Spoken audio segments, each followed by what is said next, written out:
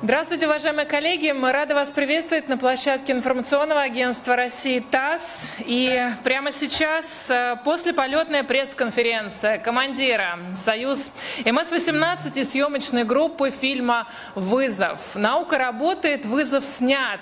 Так называется наше мероприятие. Оно посвящено возвращению экипажа транспортного пилотируемого корабля «Союз МС-18», освоению модуля, модуля «Наука» и трем выходам в открытый космос нас. Наше мероприятие проводится совместно с Роскосмосом, Первым каналом и Центром подготовки космонавтов. И как раз сейчас мы переносимся в ЦПК. Я передаю слово сомодератору нашего сегодняшнего мероприятия, ведущей Первого канала Екатерине Березовской. Катя, передавайте огромный привет и теплое объятие участникам, которые сейчас находятся рядом с вами. Мы стали свидетелями поистине исторического момента, без преувеличения. С нетерпением ждем подробностей Давайте передаю вам слово и представьте, а, кто рядом с вами, те, кого мы так ждали на Земле. Спасибо, Тасс. Ира, спасибо огромное. С радостью передаю привет, э, поцелуи, объятия, поздравления, что наконец-то вы на земле. Наш экипаж не нуждается в представлении, но тем не менее Юлия Пересильд, Олег Новецкий, герой России, командир корабля МС-18, в целости и сохранности привез нас, наш первый в мире киноэкипаж домой. Клим Шипенко, режиссер. Ребята, вы просто космос, мы вами очень гордимся, поздравляем с возвращением на Землю. А, колоссальный интерес был и к старту, и к возвращению, ну а что будет, когда выйдет фильм, просто даже сложно представить. А, на интернет-площадках Первого канала и соцсетях а, и старт, и взлет в общей сложности 17 миллионов просмотров набрали. Действительно, события исторического масштаба, об этом говорят по обе стороны океана. Давайте скорее переходить к вопросам, к нашей пресс-конференции. По традиции, первый вопрос от телестудии Роскосмоса. Ну, конечно, всех интересует, как самочувствие по возвращению Рассказывайте. Рассказывайте. Кто первый? Самочувствие терпимое. Э, в общем, достаточно бодрое. Ну, понятно, что нам с Климом, наверное, все это легче, потому что мы там были, но, судя по нашему командиру, он тоже... Я на вас равняюсь. Он такой сильный, что он тоже уже ходим, пытаемся ходить быстрее с каждым днем. Юля, ну, то есть это преодоление все-таки достаточно сильное, вот судя по вашим ну, словам. Так. Ну да, преодоление. Для нас тоже, несмотря на то, что мы на орбите провели гораздо меньше, в десятки раз меньше времени, чем Олег, э, все равно это, да, это вот как-то, как через воду немножко выступаешь, немножко заново учишься ходить. В общем, вызовы продолжаются. Клим, вы что скажете? Да, да, да, ну абсолютно такие же ощущения. Эм, после посадки хоть и получалось ходить, но все равно ты чувствовал, я чувствовал себя так немножечко в дыму таком, как будто ты ходишь, э, меня держали, ну, нас всех поддерживали, чтобы мы не... То, что заносило, шатало, и мне, ну, мне ощущение, как будто, да, учишься, надо вспоминать, как этот процесс происходит, потому что на 12 дней мы про него забыли немножко, и Олег на, вообще на полгода. Ну, Олег Хотя давал, он бегал наверное... там на дорожке и имитировал э, земное притяжение с помощью специальных креплений. Я думаю, Олег давал важные советы, как вообще прийти в себя поскорее. Все-таки 191 день вы провели на орбите, правильно? Ну, в целом, да. Ну, совета особо никаких нет. У нас прекрасные врачи, которые дают замечательные рекомендации. Вот, они всегда нам помогали, помогают. И вот в моем случае конечно, каждый следующий полет, наверное, организм как-то проще, быстрее вспомнить это состояние привыкания к зимовой силе тяготения. И поэтому, не знаю, я чувствую себя тоже довольно уверенно. На воротах все заносит немножко, но в целом очень хорошо. Еще один вопрос от э, студии Роскосмоса, такой уже философский немножко. Смотрите ли вы теперь на жизнь с другой стороны? Вот мне Климу хочется его отрисовать, потому что мы, когда работали в прямом эфире, следили за возвращением, мне кажется, вот Клим у вас прям по глазам было, что я, я увидел что-то такое, что, что изменило меня в корне. Ну, э, да, это так и, так и было, потому что мой, мой э, все-таки опыт полета был связан со съемками фильма, и, э, конечно, я понял, что космический фильм такого, как бы, как я, таким, как я его там снял, я бы здесь на Земле даже не смог бы придумать. И это важно. То есть э, космос подсказывал какие-то такие э, виды, решения, э, ну, не говорю уже про, там, конечно, виды Земли, потрясающий, который, ну, как бы, ты на земле, ты, ты на земле там, представляешься по каким-то фотографиям, думаешь, ну вот, наверное, как-то так. А когда ты это видишь своими глазами, и у тебя есть возможность с помощью камеры это передать и под определенным углом, э, увидеть, как там свет на Юле меняется, э, таким образом, каким, ну, я говорю, я бы себе так не придумал на земле, даже придумать это нельзя на земле. Вот, поэтому да, безусловно, это, это э, какой-то такой опыт э, взгляда на кино, на на мир э, с, с космической орбиты произошел в этом смысле изменение какое-то по-другому, конечно, смотришь. В общем, и на кино, и на жизнь как-то тоже, наверное, да? Чуть-чуть ну, на, иначе. жизнь, на жизнь пока еще надо сейчас э, в нее войти, в эту жизнь, э, и понять, как, бы, как она теперь изменилась, как ты, как, а именно вот на кино, что для меня жизнь э, и есть на самом деле, вот, конечно, изменения произошли. Там, произошли. Юля, а вы что скажете? Ну, надо, наверное, на самом деле вернуться окончательно, потому что все равно пока, ну, то есть мы вернулись, все хорошо, но все равно это такое сильное впечатление, это такая вспышка где-то и внутри, и снаружи, э, что, честно говоря, хочется это все вообще как-то прожить, потому что мы были в таких сроках, во-первых, было очень мало времени. И мы с Климом э, в последний день, когда уже вот, вот мы понимаем, что завтра уже все, мы вдруг поняли, что мы не насмотрелись в иллюминатор. Мы, ну, то есть мы не смогли сделать вот этого. Мы, не, мы хотели вот так, а не успевали, потому что все время шли съемки, и, честно говоря, мы работали и во время, которое было запланировано. И спасибо нашим командирам, спасибо Антону Шкаплерову, спасибо Олегу Новицкому, спасибо Пете Дуброву за то, что они в какой-то момент подключились к нам. И несмотря на то, что у них были, было огромное количество своих задач, которые, которые им нужно было выполнять, они ночами продолжали с, на, с нами работать. Угу. В общем, продолжали этой энергии кино. Снимать наш, наш, наш фильм.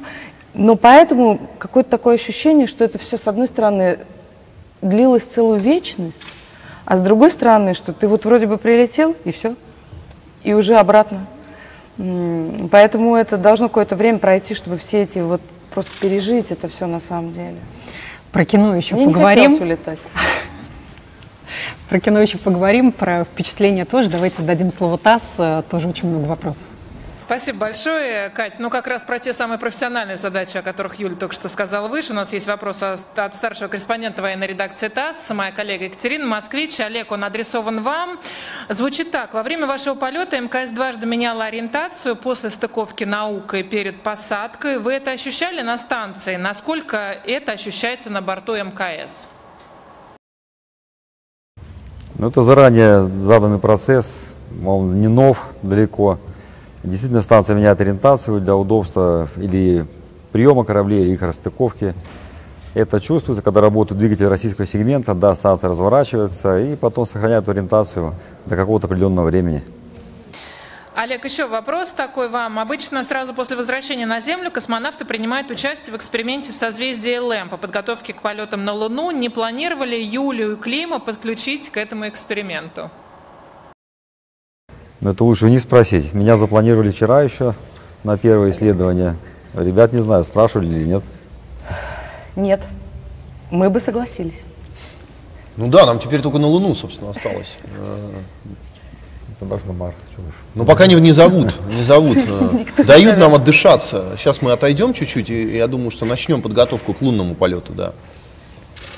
И еще один да. Нет, я, шу, я, я шучу, таких планов пока нет. Реабилитацию, которая сейчас вам предстоит, и вы уже, скажем так, ее начали, отличается ли на начальном этапе реабилитация Олег ваша от э, Юлии и Клима? Если да, то чем? Ну, наверное, у меня больше такая расширенная программа медисследований. Вот, завершение каких-то поставленных экспериментов – у ребят, наверное, все-таки поменьше. А так реабилитация, в принципе, проходит, наверное, у всех одинаково. Вот только в этом отличие. Я вчера первый раз плавала в бассейне. Возвращаю, возвращаемся к вам. Еще очень много вопросов, слушай. Да, Ир, спасибо большое. Ну, вот в продолжении лунной темы мы, видимо, коллеги-журналисты, вас уже полноценно воспринимаем не как людей творческих, но уже как космонавтов. Поэтому еще один вопрос про Луну. Газета «Георгиевские известия» а, Юлии Климу. Нет ли желания после успешного полета в космос на околоземную орбиту посетить Луну и продолжить космическую киноэпопею? Ну, я так понимаю, вызовы тут принимаются легко, поэтому уже согласие получено, да? Да, да, да, конечно, мы готовы. Ну, то есть мы за то, чтобы космическое кино снималось в космосе. Но если про Луну, то на Луну. На Марс, э, про Марс так на Марс. Э, почему бы нет? Слушайте, почему Полгода. кино должно в студиях сниматься? Полгода в мужском коллективе. Я привыкла, что отвечают за меня. Это очень неплохо. Юль, такой тоже вопрос э, к вам от коллег с Первого канала. Как вообще оцениваете этот космический опыт? Уже прошло какое-то время, ну, возможно, что-то получилось осознать. Вот лично вы себе какую оценку даете? Довольны вы, недовольны, чего-то не хватило? Э, Вы знаете, как ни странно, я всегда для меня самое большое открытие – это люди. И как ни странно, для меня и в космосе открытие – это люди. И вообще все эти 12 дней, и не только 12 дней, и там время до этого, когда мы готовились с Антоном, и время, когда мы уже прилетели на станцию, познакомились и начали работать с Олегом и с Петей, эм, говорит о том, что ну, космос это чрезвычайно интересно, но, в общем, каждый человек это большой космос. И это было самое, пожалуй, для меня интересное, как вот мы, как мы прожили эти 12 дней. Э, Как это было и непросто, и нам было, конечно, непросто, и ребятам с нами было непросто.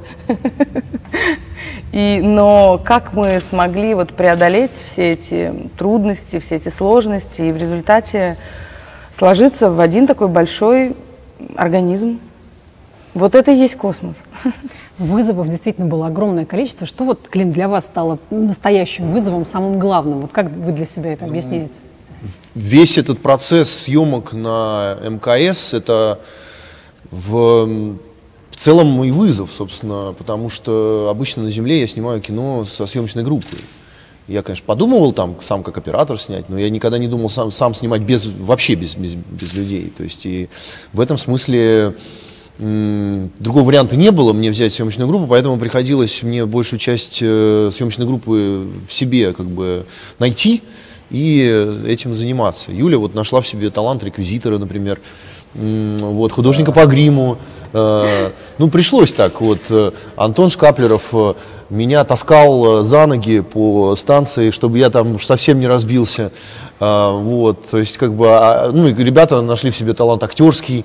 То есть им пришлось себе найти его. да, Я их заставил найти в себе этот талант. Деваться было некуда. в этом смысле э, это было похоже на то, как я начинал снимать э, свои первые там короткометражные фильмы, когда я был один в одном лице и все.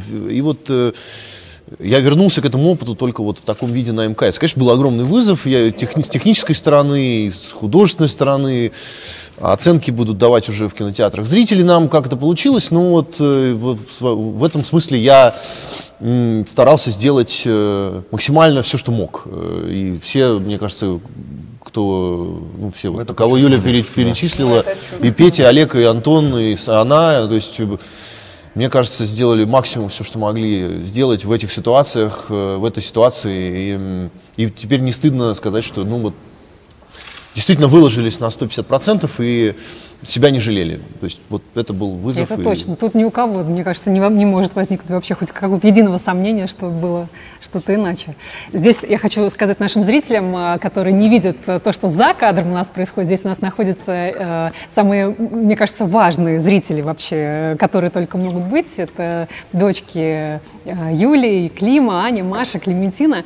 А, Юля, вот вы когда выходили со своими э, дочками на связь, э, мы, мы, зрители Первого канала, видели, что действительно в каюте, командирской каюте расклеены э, листочки сценария, и мне кажется, вот это вообще э, лучше всяких слов э, говорит о том, как, вот, как это было. То есть действительно это космос, это настоящий космический корабль, это крохотная каюта и расклеенный сценарий. Мне кажется, это может быть таким символом вообще. Да, того, ну, что на происходило? самом деле я еще, я, я еще до сих пор, я еще до сих пор э, все пытаюсь держать в руках. Вот, знаете, все, что лежит, я пытаюсь все держать в руках на всякий случай, потому что вот это ощущение, что если ты на секунду, на секунду что-то выпускаешь, оно сразу улетает. Вот это вот, поэтому у меня было все приклеено, у меня был весь грим, но это целая, конечно, схема была. У меня на каждом, понимаете, на каждом там, не знаю, губная помада, там, тушь, еще что-то. Все было на велкро. Я вообще думаю, думаю, дома сделать себе теперь уголок с велкро. Я не знаю, как я буду жить. Ну, кто не знает, для зрителей это такие липучки, которые одна к другой. На станции все на На скотче. на скотче и на велкро. Я думаю, что я себе дома такой уголок сделаю. Поэтому у меня все, все было в каюте, целый большой механизм на самом деле. Там потом в какой-то момент лежал медицинский реквизит. Ну, вы представляете, сколько всего, на самом деле, для фильма нам требовалось всего каждый день, все эти трудом, сцены, все эти нюансы, все эти медицинские нюансы. Они такие маленькие, они так быстро улетают. И ты потом ищешь их где-нибудь на вентиляторе. Ну, да, такая вот каюта была. И сценарий постоянно мы вместе читали за столом, и учили, и там, проговаривали нюансы. То есть у нас была абсолютно полноценная работа над фильмом. Несмотря на то, что трудно, необычно, непривычно, ну, Я знаю, много дублей, очень много дублей. Я знаю, что из э, телестудии ТАСС э, тоже очень много вопросов, которые касаются непосредственно съемок кино. Ирина, снова вам слово отдаю. Да, коллеги, спасибо большое. Немножко разовьем эту тему, о которой сейчас уже частично упомянула э, Юля. Информационное агентство столицы Валерия Хвощевская задает такой вопрос относительно сценария. Пришлось ли его корректировать в процессе работы? Возможно, из-за технических особенностей что-то не удалось снять или наоборот что-то добавить в сценарий? Клим, это вопрос для вас. Да, сценарий э, всегда корректируется, и съемки на МКС э, не исключение. Мы корректировали его, исходя из э, обстоятельств, которые мы там, ну, которые я там обнаружил, которые я там, э, собственно, увидел, и космонавты добавляли от себя какие-то диалоги, они говорили, как это бы вот э, им органичнее было бы говорить, и этот процесс нормальный, потому что, ну, я, я, я прекрасно понимал, что э, как бы как- на Земле ты как бы, я, я себе представлял, как это будет, ну и когда я там оказался, конечно, какие-то вещи себя скорректировали. То есть это нормальный процесс, он произош- происходил, произошел, мы сняли все, что запланировали, Э, мы сняли все, что запланировали, э, поэтому что-то, что мы не сняли, да нет, все в общем и целом сняли. Мне кажется, да. Ну, то есть даже с какими-то э, запасами, какие-то и даже виды земли сняли впрок.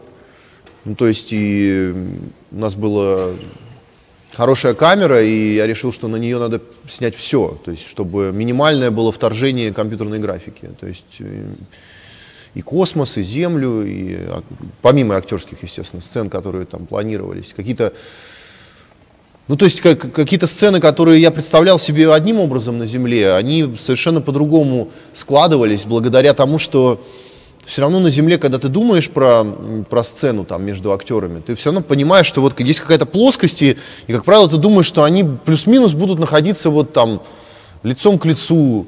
А когда там оказываешься, понимаешь, что это совершенно органично людям находиться там э, лицом к лицу, но один висит вверх головой, другой вот горизонтально находится, и, а камера еще в третьей плоскости может находиться. И это переворачивает сознание, э, в общем, окончательно там. И ты понимаешь, ну, конечно, этого невозможно было придумать на Земле, потому что, ну, я говорю, так на Земле мозг не переворачивается, все равно мы привыкли, что пол это здесь, а потолок это здесь, и человек, когда разговаривает с другим человеком, он, как правило, стоит или сидит друг. А там вот это все совершенно по-другому, и в этом смысле это было для меня, конечно, кинематографическое открытие, то есть можно сцены решать совершенно по-другому, совершенно в трех-четырех плоскостях. Вот, это, это, это себя скорректировало, это предложило как бы решение. Но я, надо сказать, их ждал. Я, я знал, что так будет. Я знал, что э, то, как я представлял себе на Земле, оно так не будет там. И оно так и не, действительно поменялось. Ну, вот. Клим, сколько в целом вы отсняли часов, сколько я, я, я не знаю в часах, но я знаю в терабайтах их порядка 30. Это много часов. Э, я думаю, что это часов 30. Я думаю, что это где-то 30 с чем-то, ну, 30 с чем-то часов. Опять же, сколько из этого потом в, в результате монтажа будет в фильме, я думаю, порядка 25-35 минут. Вот между что-то в, этой, в этом диапазоне. Вот. Но снимал с, с, с ним... Да, да, да. А, конечно, да. Космические творческие муки.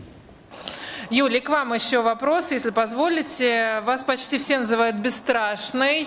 Много эпитетов в ваш адрес э, э, за, эти, за этот э, период мы услышали. Считаете ли вы себя таковой? И такой вопрос более бытового характера. Как прошла первая ночь в космосе? Сразу ли удалось уснуть в невесомости? Может быть, что-то снилось? Ну, э, нет, я, конечно, себя бесстрашной не считаю, просто я повторюсь, нам очень повезло с людьми, которые, с которыми нам повезло быть экипажем, нам повезло с нашими командирами. Туда мы летели с Антоном Шкаплеровым, и было спокойно, уверенно. Мы знали, что, ну, мы знали свои задачи, э, попытались их выполнить, а обратно мы летели, уже спускались с Олегом, и на самом деле его уверенный голос – который опережал даже все какие-то рекомендации из ЦУПа. Его уверенный голос не давал даже, ну, просто ни секунды, чтобы не давал нам мгновения, когда ты бы начал волноваться, и даже все вот моменты там, открытия парашюта, и вот какие-то, когда начало вот это вот все крутиться, и мы начали гореть, поскольку он до этого уже говорил, что сейчас будет это, сейчас будет это, будет это, будет это, сейчас, а сейчас получайте удовольствие, вот это вот началось. О! И поэтому не было этого момента, когда было, ну вот так было бы страшно, хотя, конечно, мы не бесстрашные, мы просто, ну, ну нет, не бесстрашные. А если говорить про первую ночь в космосе, то мне очень понравилось спать в космосе. Я никогда не думала, что эм, это такое удовольствие. Потому что ты вообще не, тебе не нужно ни на что опираться. Во-первых, для девочек это прекрасная вещь. У тебя никогда не остается следов от подушки. Ты идеально выглядишь. Серьезно. А во-вторых, ты просто висишь, и, во-первых, ты прекрасно засыпаешь. Я очень хорошо там спала. И надо сказать, что у нас в фильме есть такая фраза, что там, не знаю, час в космосе как два на Земле. Это абсолютная правда. Я там за 4 часа прекрасно высыпалась. Да, мне очень понравилось. Хорошо, спасибо огромное. Катя, возвращаемся к вам. У вас тоже есть еще вопросы, слушаем. Давайте продолжим. Мы еще про кино очень много вопросов, причем от наших э, иностранных коллег, которые, к счастью, хорошо разбираются в советском кинематографе. Вопрос от китайского телеканала CGTN, э, правда, рус, русскоязычная версия. Шамир Алиса спрашивает. «Э, люди на Reddit упоминали фильм 1984 года «Возвращение с орбиты», в котором также есть кадры, сделанные в космосе. Может ли ваша работа по праву считаться первым фильмом в космосе? Таком ключе? Ну, кадры в кос из космоса были во многих фильмах.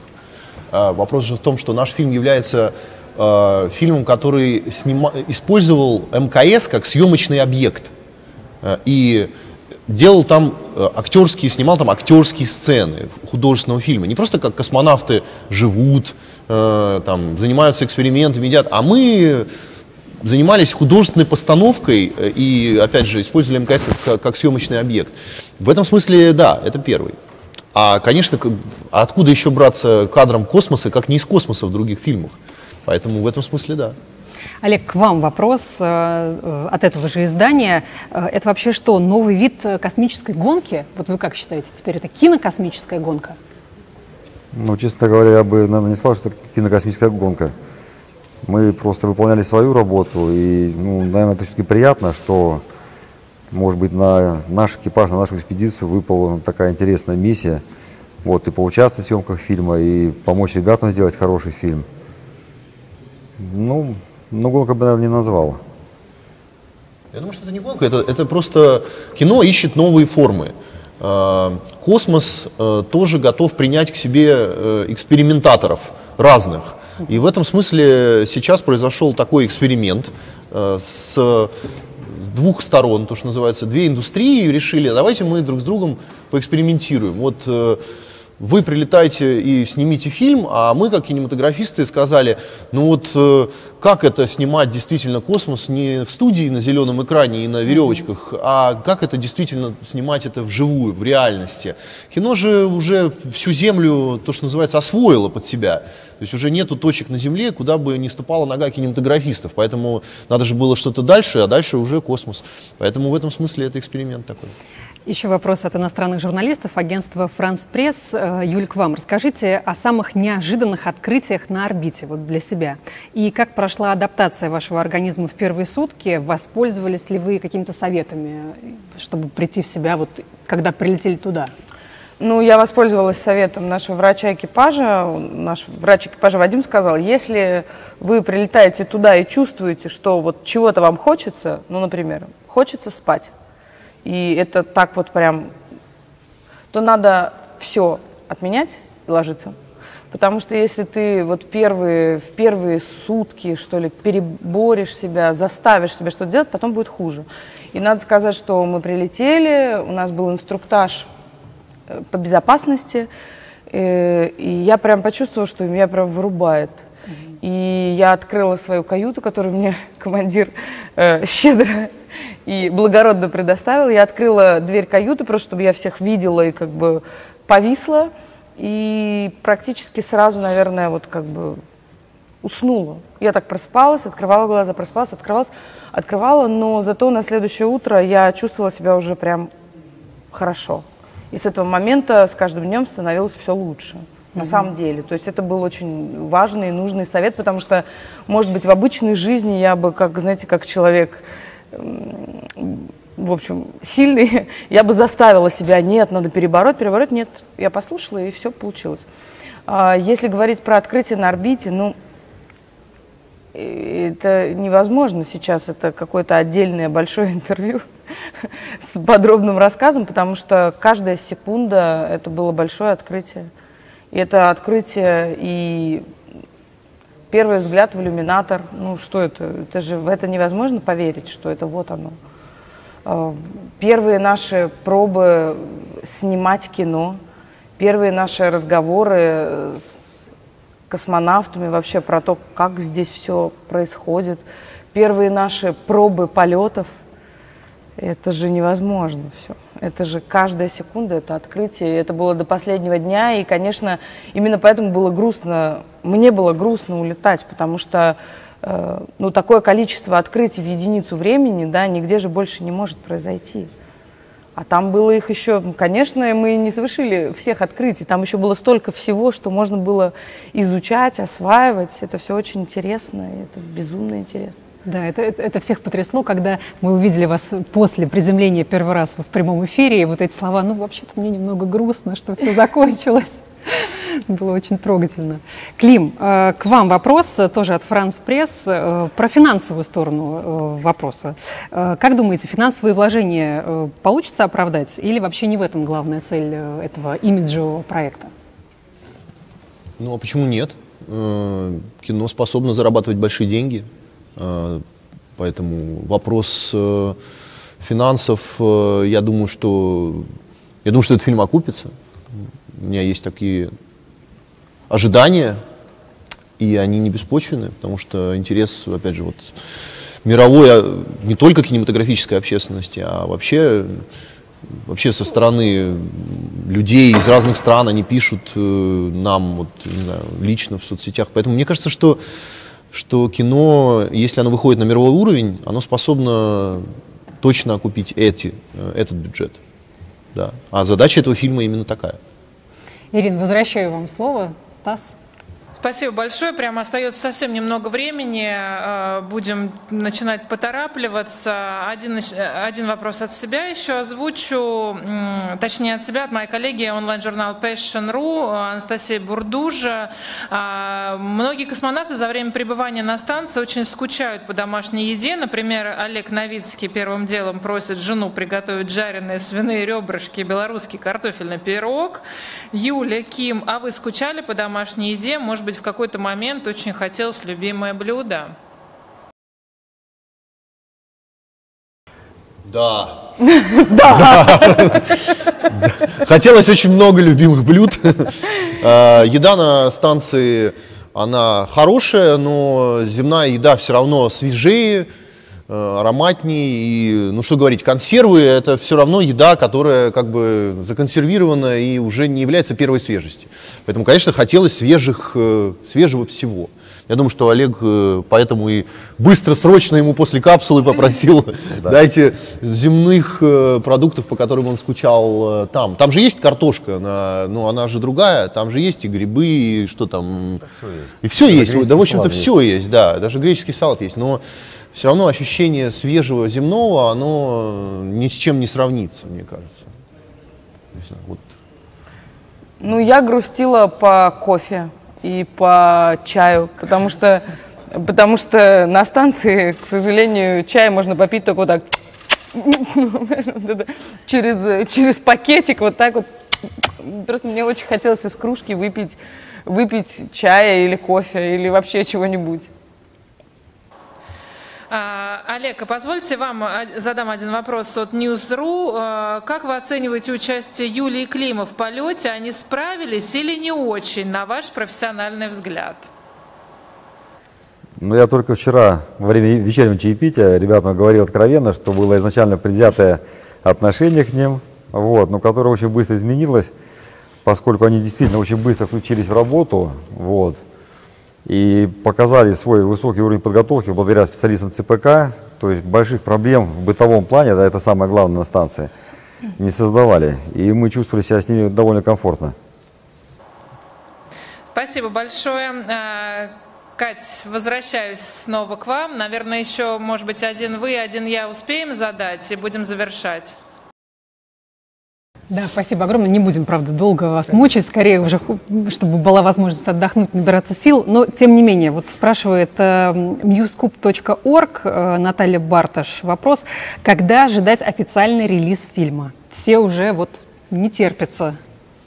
Ну, э, на этот вопрос э, пока у нас нет такого конкретного ответа в плане 15 там, января. Нет, пока мы не знаем. Я думаю, что фильм будет делаться еще Э, до конца следующего года. Он будет делаться, сниматься, сейчас будет готовиться, постпродакшн. Это все занимает год. А дальше продюсеры совместно с прокатчиками выберут дату релиза, которая будет э, идеально подходить для этого фильма. Это будет зависеть от многих факторов, от других релизов, как это обычно делается. Поэтому в этом смысле она, я думаю, что дата будет известна плюс-минус э, в начале следующего года, когда уже будет понятна сетка всех остальных релизов. Ну и трейлер, конечно, всем очень интересно, как вообще хочется побыстрее. Ну будет какой-то тизер, я думаю, трейлер э, еще трейлер делается из снятого фильма, угу. возможно какой-то тизер будет из космической части. Я пока не могу точно сказать, когда.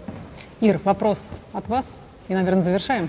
Да, вопрос э, э, Клим, вам от газеты «Метро». Раскройте тайну, что в оранжевой коробке вы передали Константину Эрнсту после приземления?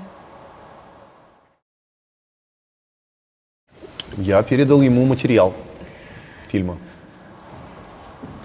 Спасибо. И от «Комсомольской правды» финальный вопрос. Расскажите о встрече с иностранными космонавтами. Какие у вас остались впечатления?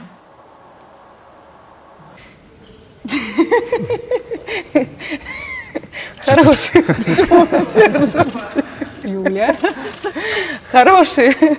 Хорошие, потому что во-первых, они в нас встречали уже, потом э, есть такая традиция, есть такая традиция, что космонавты ходят друг к другу на ужин раз в неделю. Летают. Летают, летают друг к другу на ужин раз в неделю.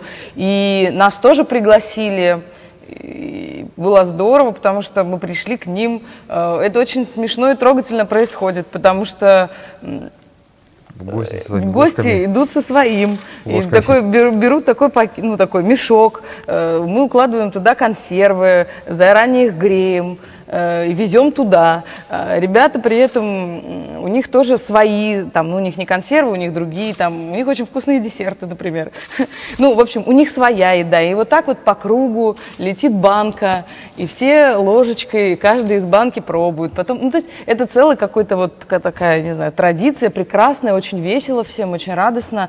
Нас все приняли, ну, я не знаю, очень здорово, нежно, тепло, и мы со всеми познакомились, э, всем им было интересно, как мы снимаем фильм, как вообще у нас процесс, как быстро мы адаптировались. По-моему, более чем. То есть такая большая космическая семья. Да, да, да, большая это космическая семья, было. никаких границ, никаких, э, понимаете, стран, еще чего-то. Просто все вместе, ну, и иногда встречаемся. На самом деле мы, может быть, и больше бы повстречались, потому что было интересно, чрезвычайно, но просто не было физической возможности. Каждый раз, когда они к нам прилетали, мы в очередной раз что-то снимали, поэтому не так, не так много удалось побыть вместе и пообсуждать что-то. Ну, конечно, интересно все это. Подглядывали, посматривали, что интересовались? Ну, там, э, та- там это просто видно, потому что это, это Ты как же видишь э, друг там друга. двери открыты, и Двери ты везде. видишь, что происходит в другой комнате, в общем-то, э, хочешь ты этого или нет. Поэтому в этом смысле да. А мне было приятно, что они посмотрели в, в предпоследний вечер э, наш на МКС, мой фильм «Салют-7». Прямо у них большой экран, они проек- настроили проектор, сидели, смотрели с субтитрами, потом вопросы спрашивали, им очень понравилось. То есть в этом смысле, да, это большой, большой такой дом международный, где живут люди разных национальностей, и они при этом летают. И, и- и как бы, и это нормально. То есть, э, вот, Потом было очень трогательно, когда у Олега был юбилей 12 октября, когда мы там приготовили свои какие-то, так скажем, поздравлялки, а уже утром проснулись, а уже висят шары и хэппи бёзды. Это сделали вот э, иностранные наши коллеги, поэтому, ну, это же здорово такая. Такие маленькие радости. На самом деле там это не маленькие радости, это, это большие радости. Вот, поэтому им всем привет. Тома, Марк, э, Шейн, Меган, Меган, Шейн, Аки. Им огромный привет от нас. Давайте Ну и, конечно, Антону и Пете. да, Особенно Петя. особенно Петя. Ну что ж, давайте на этой прекрасной э, ноте завершим. Спасибо огромное вам за этот разговор. Спасибо. за впечатления, Вам за эти спасибо. эмоции, которыми, мне кажется, любовь к космосу, она вот этим пропитана абсолютно все.